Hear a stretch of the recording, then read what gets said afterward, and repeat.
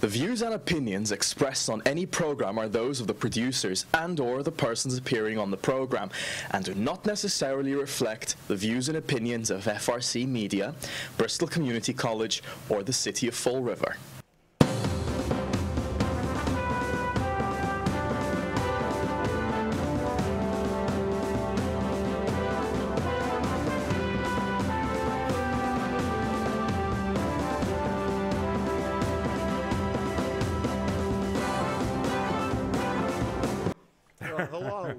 To Spindle City Straight Talk. I'm Chip, And I'm CJ. and it's the Monday after the silly season, Christmas. It and it's just when we thought it couldn't get any sillier, it did. Yes, it did. Happy Good Riddance Day. Good, good, good riddance, day. CJ has just informed me that our, our the state has has well, actually, it was. It, the, I'm saying that the state delegation probably propagated this.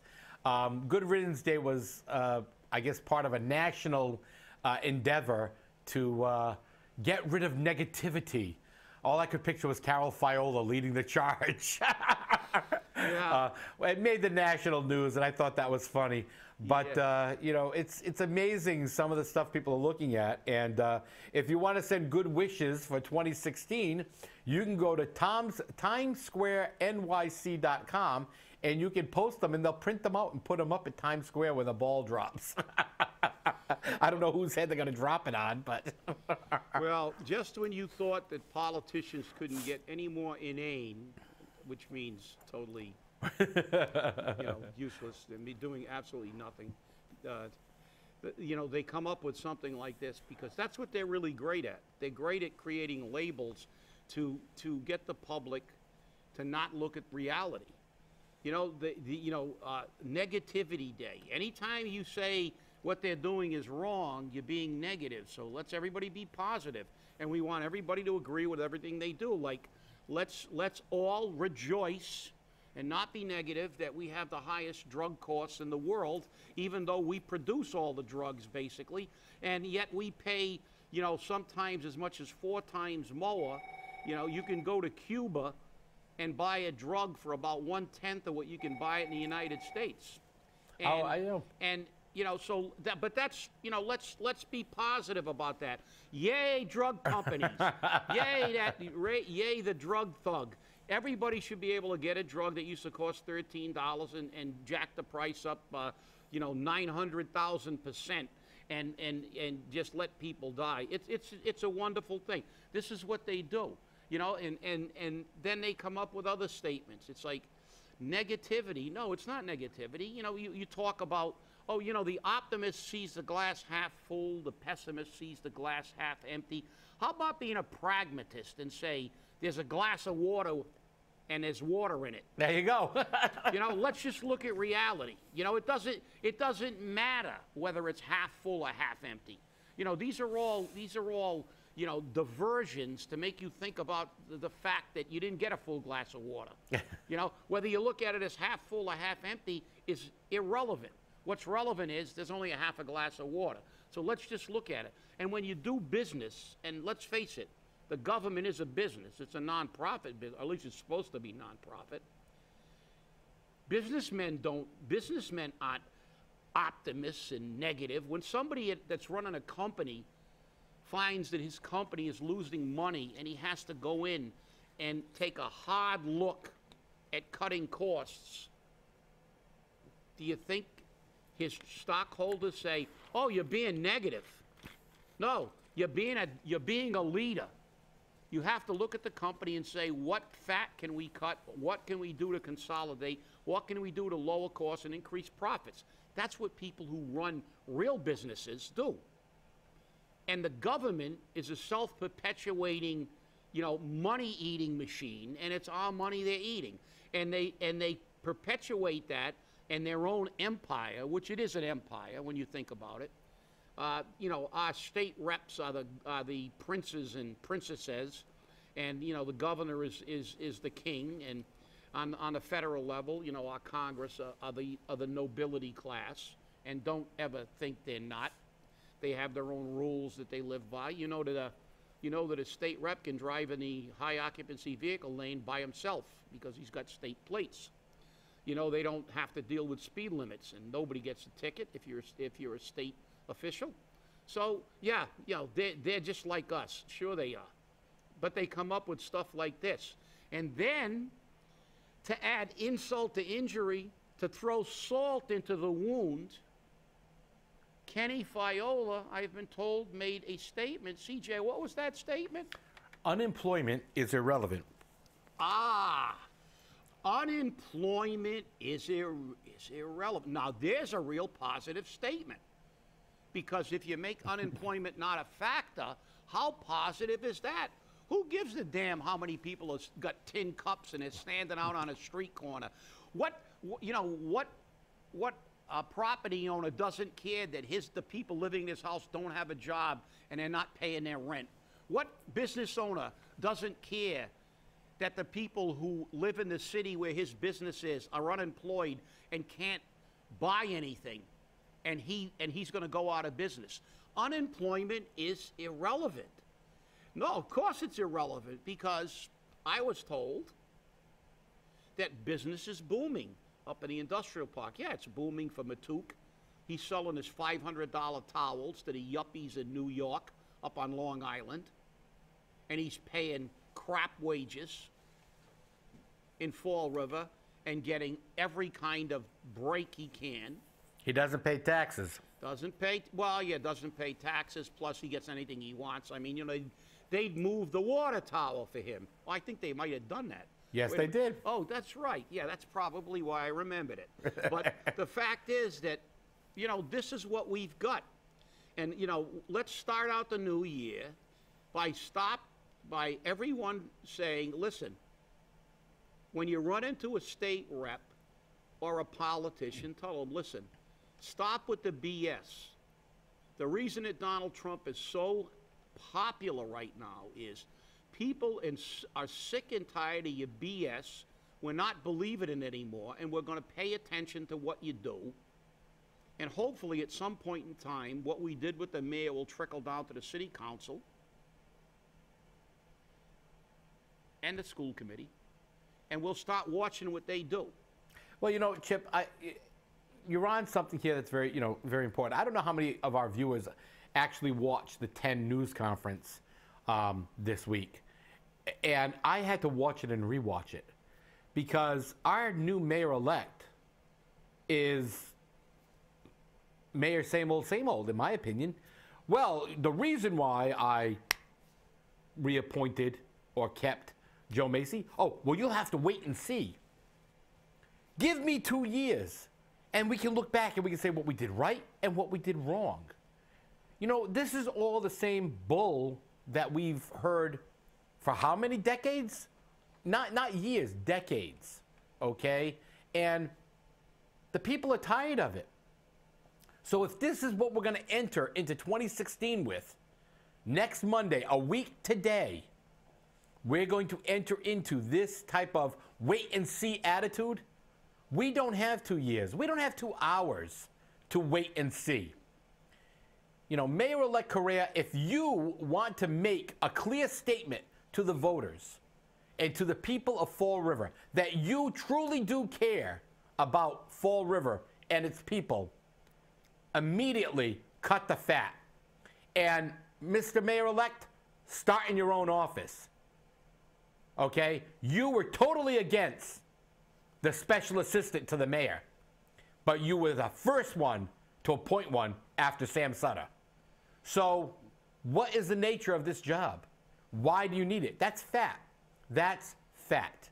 Okay? And the people don't want the fat. All right? Fall River can't afford it. And I said it in my column this weekend. Mr. Mayor, Sam Sutter, if you've got a set on you and you got the backbone, maybe the final gift you should give Fall River is the relief it needs. Maybe you should declare receivership and put that in the governor's pocket. Because you know what? That's what Fall River truly needs. Because this new incoming mayor isn't going to do what you didn't do, Mr. Mayor. He's not going to order a forensic audit on every department, every book, every account in this city, which is what we truly need. But it's not going to happen because no politician wants to see what they've done looked at and looked at closely. Alan Silva said it very clearly the only out for Fall River is receivership. Sam Sutter, you turned around and sent them back to Florida. That was sound financial advice from a man who knows numbers.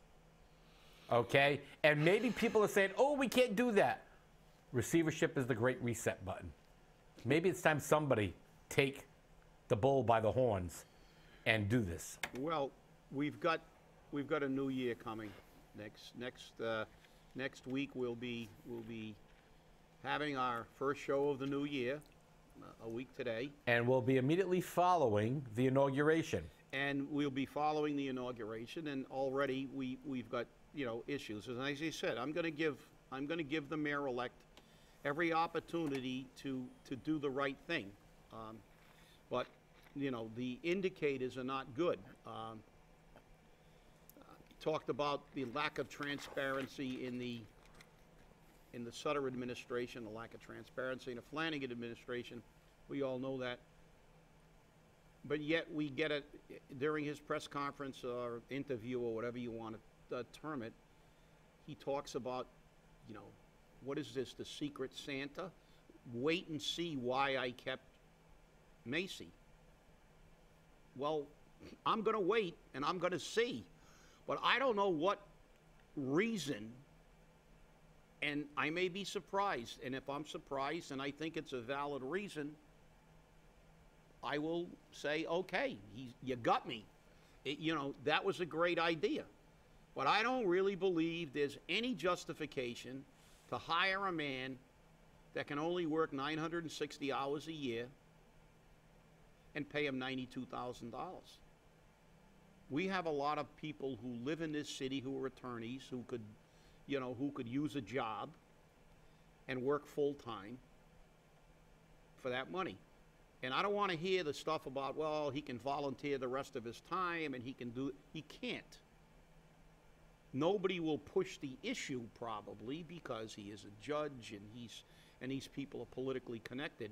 But the reality is the retirement boards will, will, you know, they may, they may do an investigation, but they're not going to kick it up to PERAC because I saw the PERAC opinion that said these people cannot work and, and say they're volunteering their time.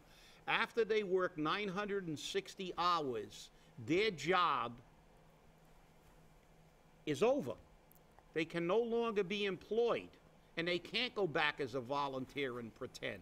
That's the PERAC interpretation, and they're willing to fight that in court if it gets to them. The problem is, again, the politicians will then tilt the playing field in favor of themselves. But I don't know what I don't know what reason you could have in keeping the city administrator that was under tremendous fire, and I forgot the quote in the Dion article. It's got more baggage than I don't know, but whatever. But the fact is, and and Joe Macy, which was another major campaign issue, and the first thing you do is keep these two positions and we're going to find out about it later. Well, you know what I want to find out about? I want to find out about when, there's reductions in administrative and management personnel throughout all city departments. I want to know when. Because somewhere over the last decade or so, the, the mantra of cut the fat in government the, the politicians have succeeded in eliminating that from, from the public's vocabulary. Years ago, it was, it was political suicide to raise taxes two years in a row. It was political suicide to, to hire all these people and give them these types of jobs. And what do they do today? They march into the city council, and I still remember Lou Pacheco saying how our financial team deserved more money. Well, how about this one, Chip? Just got a message from people at City Hall. They don't watch us, though. Remember this, okay? Who's paying for the interior decorator hired to spruce up the mayor's office?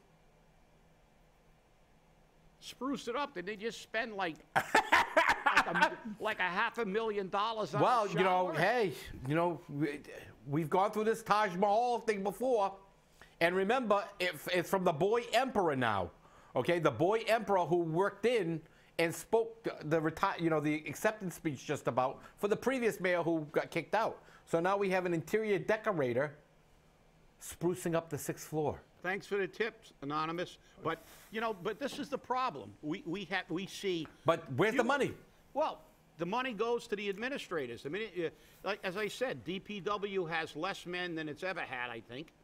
Yet they, they created two supervisory positions in DPW over the last three years. You look at the city hall, we have fewer and fewer people doing the work, servicing the people. But more managers. The people, the people who pay the taxes. We have fewer and fewer people. They've, they've given them more and more work, not a lot of money, because they have a hell of a time getting a, getting a little pay raise. But now they give their administrators and supervisors, and we have new position upon new position. Every administration that comes in comes up with a new euphemistic title for a political bullshit job. And that's the reality of, of what we've got. And like I said, somewhere over the line, in the last few, in the last decade or two, we've completely eliminated that from our vocabulary. We have to put it back in. I remember when Carlton Viveiros was the mayor and he reorganized the entire city. He hired the Coopers and Lybrand study to study every single department and recommend consolidations and cuts in every department. And he implemented many of those. Why? Because in those days, most of the people who have left the city now because of what's go- going on would never vote these people back into office if they did stuff like this. And we have to do this again, people. Uh, we're, we're giving, obviously, we're going to give the mayor a tremendous uh, uh, amount of scrutiny. He made a lot of promises, and hopefully, we're going to hold him to them. But, you know, we're, we're, we're getting pretty good at dumping mayors. I mean, hey, look, look, I think we lead the country. And, you know, people talk about Fall River, but Fall River's a leader in political, in, in political change when it comes to the mayoral level. I mean, let's look at how many mayors we've had in the past three years. And we could conceivably have a new mayor in two years. Who knows? But we, ha- what we have to realize is, you know, we can't, you know, they con us all the time. No, it, don't be negative. Look, like I said, be a realist. It is what it is. But what we have to do is carry that same standard down to the city council and to the school committee. When we created the recall and we pushed the recall, the biggest part of the recall was the information that was provided to the public about the performance of Will Flanagan. And it got people who were not part of the recall, who didn't sign a petition, who were afraid to sign a petition, or just didn't didn't get, out- get out where there was a petition, and they went out to vote, and they got rid of the mayor. And we had one of the people in, in, in the uh, organization put together a really great document called Flanagan Shenanigans. And it listed all the follies of Flanagan. But what we have to do is, and that got people thinking, hey, you're right, this guy did in, in you know, said the stormwater was illegal, but he kept it. This guy did do this. And then the purple bags were the straw that broke the camel's back. Well, we have to do the same thing with the city council. We have to begin to look at each councilor and their performance throughout their term. Every vote that they do. Because we have to realize we cannot continue to allow people to represent us on any level, not only the mayor, because they say the mayor is the most powerful, but the bottom line is, look, the city council is the one that, that, that approves the, these budgets with all these jobs in them, and we've, we've, CJ and I and a whole bunch of people have gone before the city council during budget times and said, this budget is full of fat. There's no positions that are basically eliminated. And what did they eliminate a few years ago, two or three fiscal years ago? Four city-funded firefighters. And then they complained about having no firefighters. Well, they eliminated them, but they didn't eliminate one fire officer. They didn't eliminate any supervisors from any department. Yet we lose people who provide service. and this is the con that they run on us. And the city council then says, oh, there's nothing we can do. Well, you don't have to vote for the budget. Uh, and we have to look at everybody's record. I mean, Linda Pereira's been in there forever. And if you look at their, her record, it's not much better than some of the councilors that were thrown out. But she's got a personality, people like her, and fine. I like Linda. I think she's, you know, I think she, she's personable. I don't have anything personally against her. However, like the mayor, and like everybody, and like you are out there when you're at your job, if you make widgets and you're supposed to make 60 widgets an hour, and you're only putting out four widgets an hour because you're you're not doing your job, you know, your boss isn't going to keep you for a while. You know, the fact is, the pol- you know, th- these are jobs, and they take them voluntarily to be our representatives and to run this city in the best interest of the people, not in their best interests, but in our best interests. And we've got to go from top to bottom, not just the mayor. Yeah, okay, look, we're great. I think we're the best in the world. We finally made number one in a good category, kicking out politicians when it comes to mayor. You know, you know, and and then to say that we're not going to look at the council, this is what we have to do, and we're going to be keeping an eye on them. The, the uh, you know, we are, CAG is going to be looking at these people and, and, and, and talking a lot about their performance because we can't allow this BS to continue. We can't allow the state to release the fact that Fall River has the lowest income, household income level in the state of Massachusetts. We're 351st out of 351 cities and towns. And then right after that's released, we've got Rob Mellion coming in and saying, oh, you got to reduce the taxes on business and, in- and increase the taxes on the poorest city in the world, on the residents, to keep businesses in business. Bullshit. You got to give those people money in order to keep it. Like Milton Friedman said, all taxes are regressive. You got you got Mellion traipsing up there like the Messiah and, and preaching absolute crap. And then we got Ken Fiola from the Office of Economic Destruction saying that employment is irrelevant. Really? Really? It's irrelevant that the people don't have any money, they don't have jobs that live in this city, and you're the first guy to go, we got to pay more taxes. With what? This is the problem, people. They're full of crap. They are full of crap, and I didn't know he stacked it that high. And as I always said, if BS was bricks, our politicians could build a chimney to the moon and have bricks left over. Well, amazing that we talk about bricks. Oh, bricks. Yeah, because uh, they decided that the chimney at the King Philip Mill can stand up. And they're going to use $70,000 of CPA money. Hey, where's that money come from? You, the taxpayer, to decide whether or not the building can stay up. Nobody wants the building up. How come when the people say we don't want it, we're going to get it anyways? Seems like they just keep shoving it right up there. You know, they don't care. You know, they don't. and and they don't even kiss you before they they do it. Yeah, So they'll give you a I guess I guess after the first of the year, after the first of the year, our newest award, the Spindle City Iconoclast Trophies, will be awarded. Honorary. Uh, Spindle City honorary. Honorary Iconoclast Iconoclast trophies. That's right. Excuse me, I forgot that. Um, so it's going to be very interesting to see who's going to qualify for that award and how many people are going to know what the Spindle City Icono- Honorary Iconoclast Trophy means. And we're gonna have, we're working on the categories. We're gonna have multiple categories. So we are gonna work on, there will be more, there, there will be more than one, and you can all, you know, check the acronym, and we're gonna have a nickname for it when we present it. But the fact is that, listen, here's another case. People in the South End send out the call. I don't live in the South End, but I'll go down there, and and I'll go down there and walk around. and picket, because you know something, as you said, this is this is disgraceful.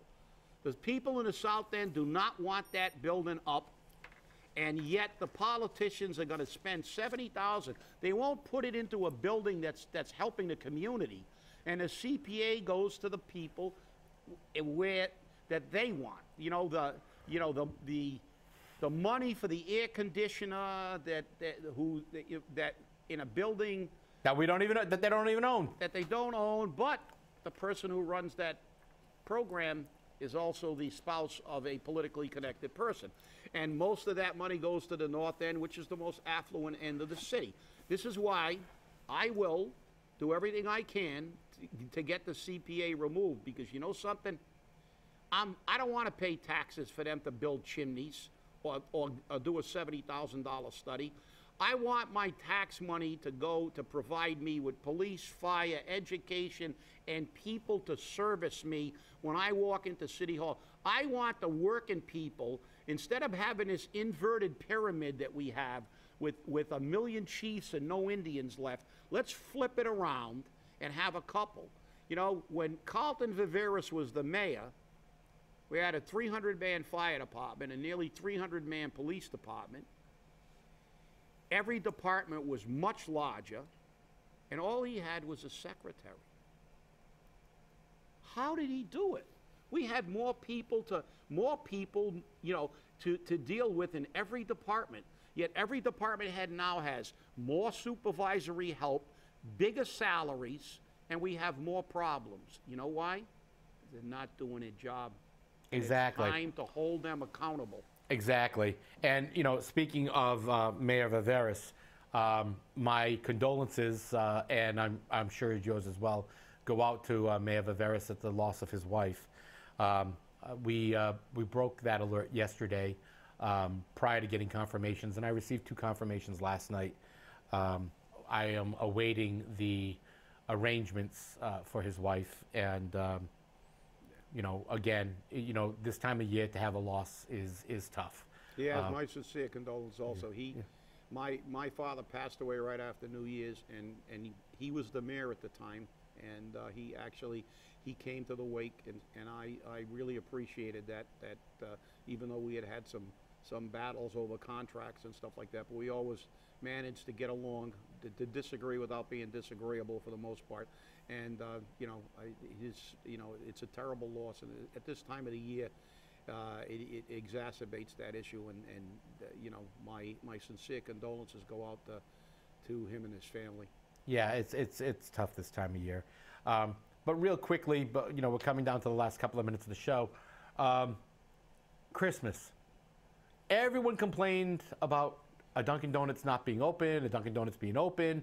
Hey, I want you to remember something, okay? Those people had families too. So if the Dunkin' Donuts was closed, kudos to that franchise holder. To the franchise holders who opened, shame on you, okay? I don't care if you're Christian or not. I don't care if you're Jewish, Buddhist, you know, Lutheran. The bottom line is you remember that cup of coffee that you so desperately had to have that you couldn't make one because when your employer turns around and says you need to go to work on Christmas and you can't be there for your children when they open their gifts or for your grandchildren when they open their gifts because you have to work, tough luck. Your coffee was that important. And that's the way I look at it because, you know, Chip, you and I have both had to work holidays. We've worked Thanksgiving, Christmas, and New Year. So we know what it's like. Get angry for the right reasons. Remember that. Definitely will. And remember, we're going to be there on inaugural day so that you know what's going on here in Fall River. And we'll see where we're going to go after that. Thanks for watching. Have a great day.